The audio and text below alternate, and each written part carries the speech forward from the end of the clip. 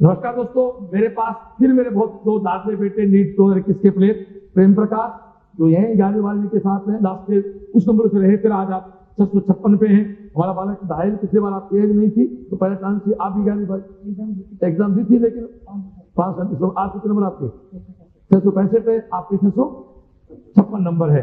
तो ये हमारे बालक प्रेम का परिवार है, ये हमारे सब घायल परिवार है, पूरा बिल्कुल एक और ये बाबूलाल जी गाँव से है।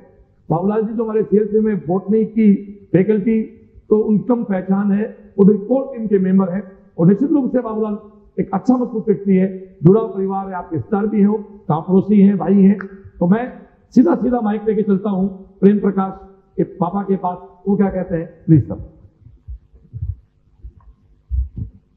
सर, मैं सीएलसी बॉस और सीएलसी को मेरी तरफ़ से बहुत थैंक यू बोलता हूँ। और मेरे परिवार में मेरी सात पीढ़ी में भी कोई डॉक्टर नहीं है। पहला डॉक्टर है साहब। और इसके सिलेक्शन होने के बाद में मैंने मेरे दो बच्चों को मेरे भाणजे के दो बच्चों को एडमिशन करवा दिया गया है और एक मेरे दोस्त का एडमिशन करवा दिया गया है। तीन बच्चों का एडमिशन भी करवा दिया गया है और बहुत खुशी की लहर हो गई हमारे घर में। इतनी छा गई कम ने हिंदुस्तान लूट लिया। क्या बात है क्या नहीं हम तो कभी सोचा ही नहीं था कि डॉक्टर बनाया जाता है या घटिया जाता है। तो हम तो साहब मैं तो बार बार सीएलसी को थैंक यू बोलता हूँ। दूसरा बच्चा मेरा आ रहा है नारायणपुर में सर। अलवर के। साथ बिल्कुल थाना गाजी तहसील के बराबर।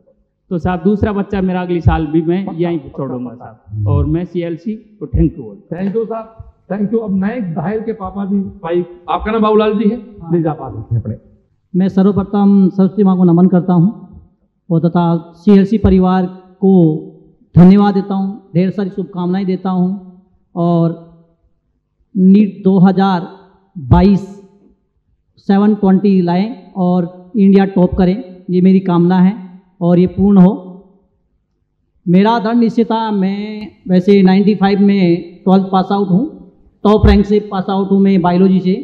मेरी पारिवारिक स्थिति खराब थी, उस समय मैंने ये दृढ़ निश्चय किया था कि अपनी स्थिति खराब आज डॉक्टर नहीं बन सकते, लेकिन 27 साल से इस बात का तपस्या कर रहा था मैं कि मेरा बच्चा कब जाएगा, कब नीट क्रैक करेगा। 2021 में लास्ट ईयर एज नहीं थी, क्रैक कर लेता आराम से। कोई दिक्कत नहीं थी। मेरा आज सपना पूर्णतः पूरा हो गया है। थोड़ा सा क्या बच्चा माइग्रेन से ग्रसित है। इस कारण से थोड़ा सा स्कोर डाउन हो गया कि लास्ट में थोड़ा सा मानसिक ग्रसित हो गया था बीस दिन तक बच्चा। बाकी फिर भी आशा के अनुरूप बहुत अच्छा करके आया है बच्चा। मेरी तो यही कामना है। अभी मेरे दो बच्चे हैं, एक छोटे भाई का बच्चा है, एक ये बच्चा है रोहित है तो इस साल ट्वेल्थ पास आउट है और नीट 2022 देगा और हंड्रेड वन परसेंट दोनों भाई इस साल 2022 नीट क्रैक करेंगे फाइनल।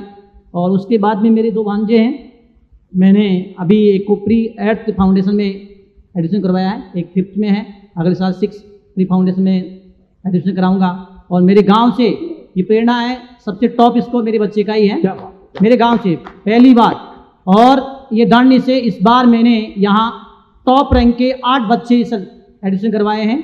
और निश्चित है तीन की एज नहीं है, पाँचों बच्चे 2022 में नीट क्रैक करेंगे डेफिनेटली और मैं वैसे डूंगरी कला मेरा गाँव है वैसे कृष्णगढ़ रेनवाल तहसील में पड़ता है। मैं तो पुनः तह दिल से सीएलसी परिवार सीएलसी परिवार के डायरेक्टर महोदय श्रीमान श्रवण जी चौधरी और मेरे अज़ीज़ मित्र बाबूलाल जी को धन्यवाद देता हूँ कि आज मेरा बच्चा इस मुकाम पे पूछा है। धन्यवाद।